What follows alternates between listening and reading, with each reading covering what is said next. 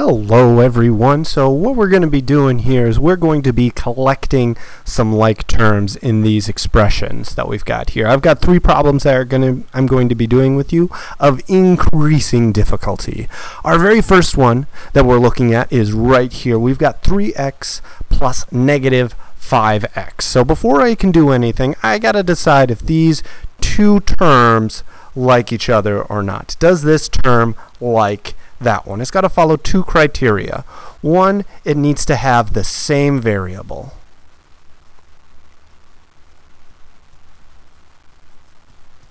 needs to have the same letter, you could also say. So it has to have the same variable. And two, it needs to have the same exponent.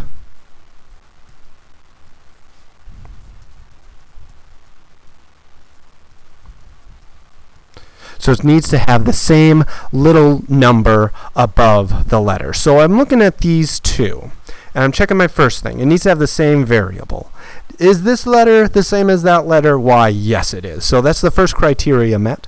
It needs to also have the same exponent and I don't see a number there and I don't see a number there so it must be the same. So these two terms are like terms and I can put them together. So I've got three x's plus minus five x's. So that's a little confusing, but you could say that we've got um, three x's and somebody is short five x's. So we could say that we are short two x's. Kind of down two.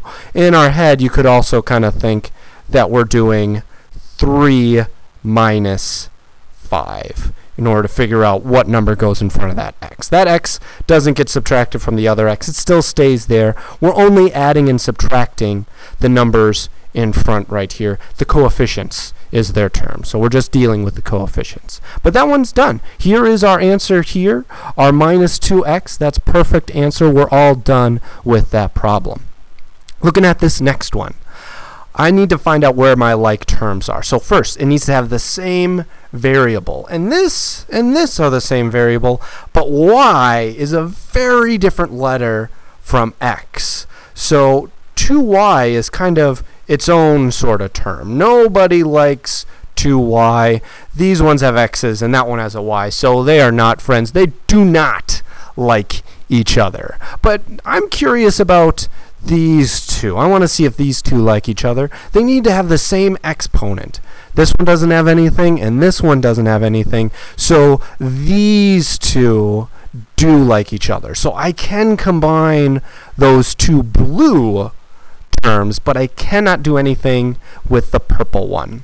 So I'm going to deal with the two blue terms first. I've got 9 x's plus 3 more x's. So I have to do 9 plus 3 is 12x plus my 2y, even though nobody likes it, that doesn't mean that we don't like it. We still like it, so we're still going to include it in our answer to get our answer to be 12x plus 2y. That's a perfect answer. That's wonderfully done. If you want to, you could even write it the other way.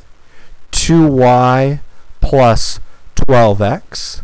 That's also a good answer. So if you were working ahead of me and you wrote what's in orange right now, you are still right. You just wrote it in a different order. Now the last one is a little scary. I should have told you that before I quickly flipped to it, but don't be intimidated. It's not all that bad. We're going to work our way through this bit by bit. So first thing I've got to, I'm going to write that reminder for me. I want to have the same, and I'm going to write letter this time. Same letter, and 2, I want same exponent. Ponent. Alright, so I'm looking for the same letter and the same exponent. So I've got all of these terms here. Look at all these terms. Woo! There's a lot of them that have x's in them. So there's a lot that have the same letter. So there's, right now, I think there's four like terms. But if I check the same exponent, this one has a 2, this one has, well, 1 or nothing, this one has a 2, and this one has 1 or nothing. So I believe that these two like each other because they have both the same letter and the same exponent. They have to have both of those criteria. And same thing with this 3x and this minus x. Those two also like each other because, again, they have the same letter and the same exponent. Now note that in this box I caught that minus. We're going to talk about that in a second, but make sure if you're working with me that you caught that minus as well. So looking at the orange boxes, I've got an x squared and a 3x squared. So I've got one x squared over here and three more over there. So I've got like four x squareds. Next, I'm going to look at the red boxes. Now those red boxes are a little weird. Since this one had a minus with it, I didn't want to ignore that minus and let that be outside of the box. That wouldn't be nice because we don't want to ignore that. We can kind of ignore um, pluses because they, they don't mean as much because they're just more combining. We already want to combine stuff, but we it's easy to miss minuses. So we've got three x's, and then we're going to take away one of these x's. We've got 3 minus 1, so we've got minus 2x. Now you maybe have been thinking, what about these? What about these two? Are those two like terms? Well, sure. Do they have the same letter? Do they both have no letter? Yeah. Do they have the same exponent? They both have like no exponent. So yeah, those are also like terms. 9 plus 4 is 13. So here is my multicolored answer to this problem. 4x squared minus 2x plus 13 is the answer that I came up with. If you have any questions, feel free to track me down um, and keep practicing.